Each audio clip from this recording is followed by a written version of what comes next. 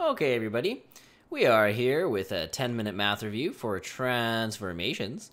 And uh, the first thing I wanted to start with is the general formula. So I got all the letters marked up here.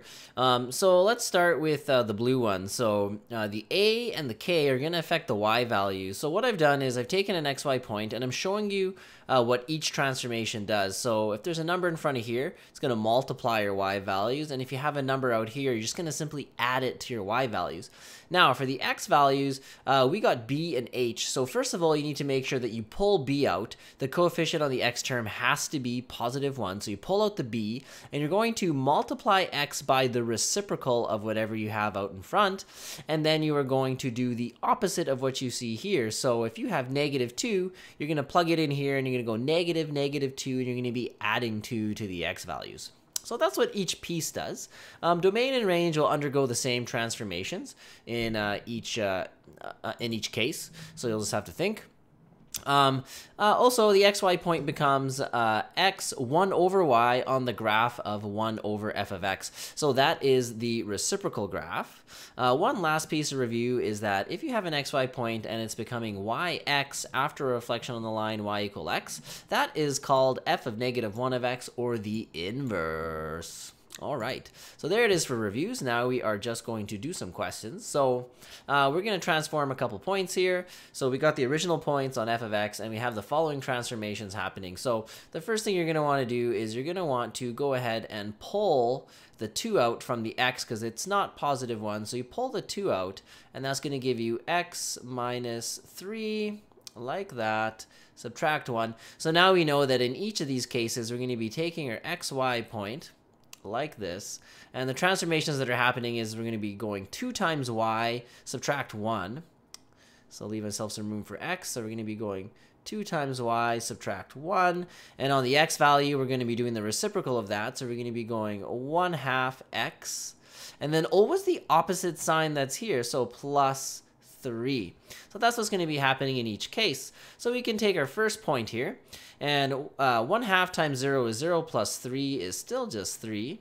And then when we go negative 2 times 2, we get negative 4. Subtract 1, we get negative 5. Right here, uh, what's going to happen here? So we're going to go negative 4 times a half, which is negative 2, plus 3, uh, which is 1. And then on the y value, we got 5 times 2, 10. Subtract 1 is 9.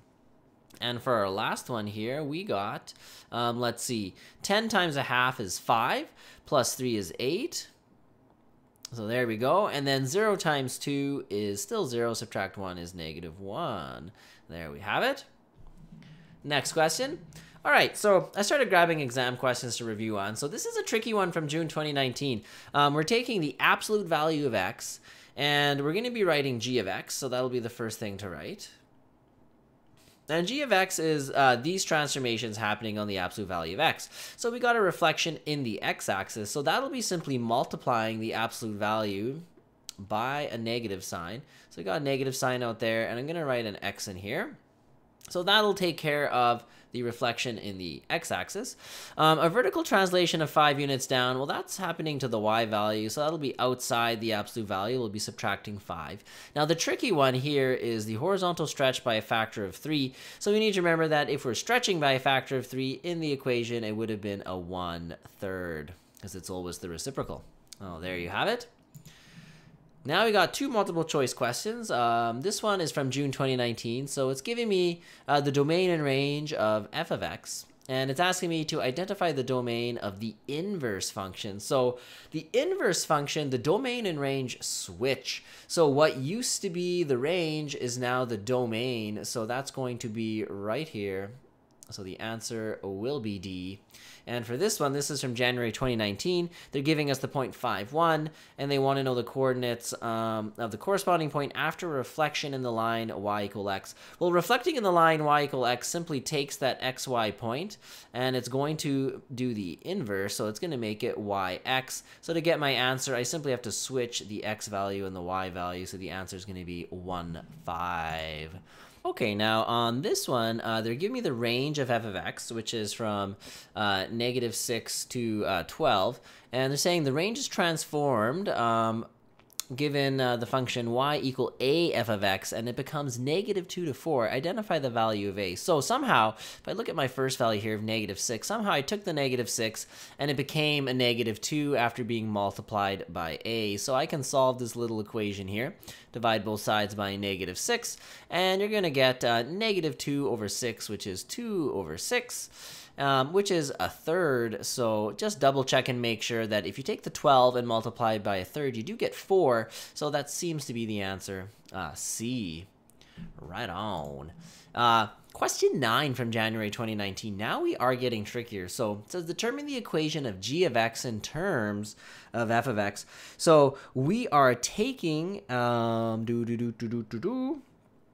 We are taking... Uh, the equation of g of x in terms of f of x. So we're taking f of x and we are turning it into g of x. So what happens to f of x here to get g of x? Well, let's see. We can write g of x equals, well, we can see there's probably been some sort of flip over the x-axis. So we've taken f of x and we've multiplied it by a negative 1. So we got negative f. Um, and if I track this point right here, which is at 1, 2, 3, 4, 5, so it's at 5, it's going to go down over here to negative 5. And I need to get it over here, so I'm going to be shifting horizontally 1, 2, 3 units to the right. So we know that we always need the opposite sign. So if I'm shifting to the right, I'm going to write x minus 3, and that should do it. We'll check a couple more points. So this one here would go down to negative 3 and then shift over here. So there it is. This one would also go down to negative 3 and then shift over 3 units. So yeah, this is definitely the graph. We got it. Good job, because that was a tricky one. Um, 27, another multiple choice from January 2019. So they're giving us the original graph of f of x and it's x minus 1 squared. It's translated 2 units to the left and 3 units up, and identify the equation of the transform graph g of x. Well, they all have a plus 3, so that takes care of doing that. it's all the answers have it. Uh, but if we're translating 2 units to the left, we need to remember that to the left would be negative. Um, we're always going to be doing the opposite thing in the equation when it comes to the x value, so I'm actually going to be adding 2 to that number, so it's going to be negative 1 plus 2, which is plus 1, giving giving us the answer A. So there we go, another tricky one. Um, ooh, and just to wrap it all up, Question 37 from January 2019. It's a three marker um, and it has a square root and a couple transformations in it. So I'm just going to uh, caution you, please remember uh, those points on the square root of x. So if you remember some of those xy points, um, what we can do is we can take those xy points on this graph and see what the transformations are on this graph. So we have a 4 in front of the x, which means we're going to be multiplying by the reciprocal. So we're going to be going 1 quarter times our x values, and then we have a negative 1 on the outside, which is affecting our y values. So we'll be going y minus 1. Now, doing this, um, the points on the square root of x that I should remember are 0, 0, and then the point 1, 1, and then the point 4, 2 you can easily regenerate those points by plugging in some x values. So let's do these transformations and see if we can get a nice little sketch. So 0 times a quarter is still just 0, uh, but when we go uh, 0 minus 1, we're going to get negative 1 there. Um, this point here, so 1 times a quarter is a quarter, and then 1 subtract 1 is 0, so there's our y value. And uh, 4 times a quarter is 1, and then 2 subtract 1 is 1. So now I have 3 points. I'm going to try to graph it. So 0, negative 1. And then we got like a quarter 0, so we'll label that point, but we'll just stick it there, and we'll draw a little arrow, and we'll just write that's the point 1 quarter 0. And then we got the point 1, 1. Now we know it's a radical function, and we can see that it's opening up this way. So now we can just do our sketch and maybe do a little bit better of a job than me, actually go through the point. But there it is. That would actually be enough to get the full three marks. And I looked at the answer key and they don't actually even expect you to label the x-intercept uh, in this case, although we did. All right, thanks for joining me for um, my 10-minute math review. I hope you enjoyed it. Bye-bye.